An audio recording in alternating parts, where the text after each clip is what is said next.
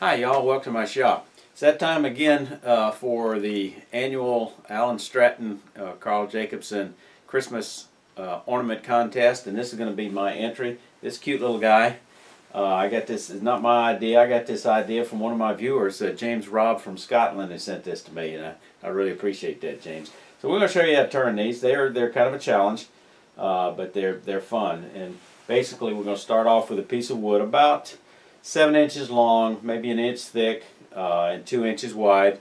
That can vary. Uh, white wood is especially good.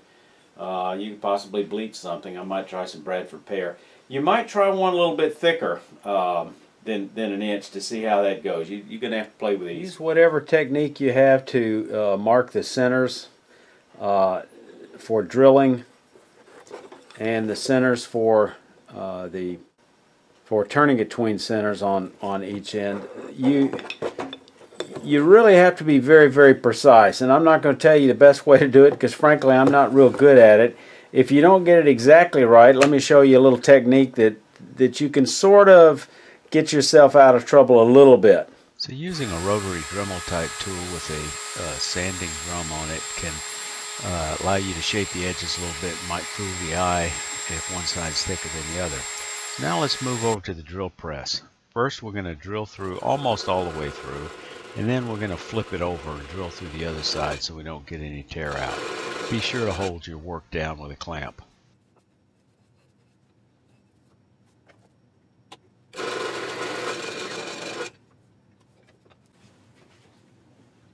Now we're going to place it between centers with the head going toward the headstock.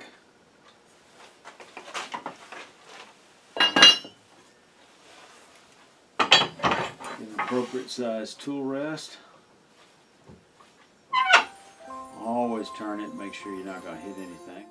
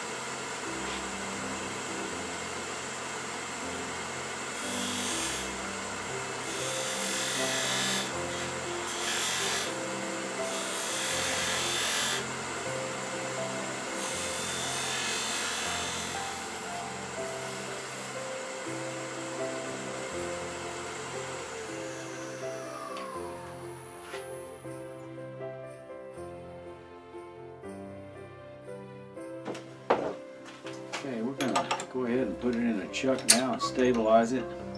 I've got these small jaws with a dovetail that'll grip it securely, but I've still got to have tailstock support because of this end grain. It doesn't take a whole lot to crack it. I've already got a very small crack that I've had to put a little CA in to reinforce it, so let's just hope for the best.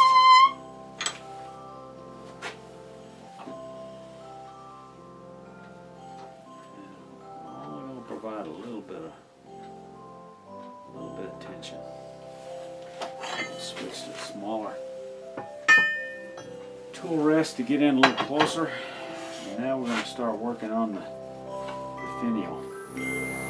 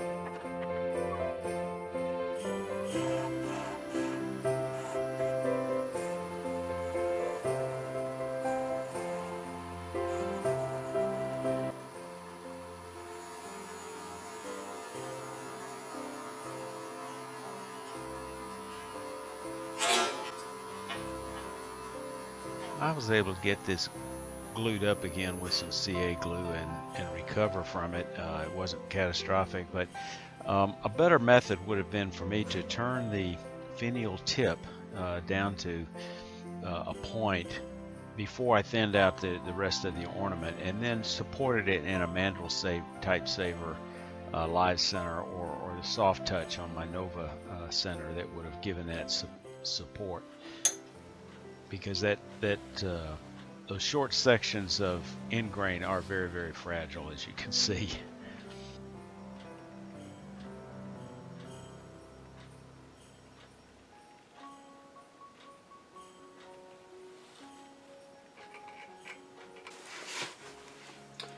Stuffing these with cotton is almost as big a challenge as turning them. Uh, I tried some polyester. Uh, it doesn't work real well. Uh, real cotton works best. Uh, I tried a little cotton batting. That's not bad. Uh, this is some eyeliner, facial cleaner stuff my wife was throwing out. Uh, it's got a pattern to it. I don't like it, but it, it seemed to work well if I put it behind this uh, this batting, uh, and then maybe take a skewer to kind of uh, stuff in the in the sides a little bit. And decorating the face, I like to use puff paint, and you draw out the orange puff paint for his nose. Uh, I don't use puff paint for his mouth. I use uh, a sharpie, make five little dots, but I use black puff paint here. a little masonite uh, for the uh, brim, or, or you can paint it. I think painting it is actually a, a, a nicer nicer look. So that's it. Hope you enjoyed it. Happy turning.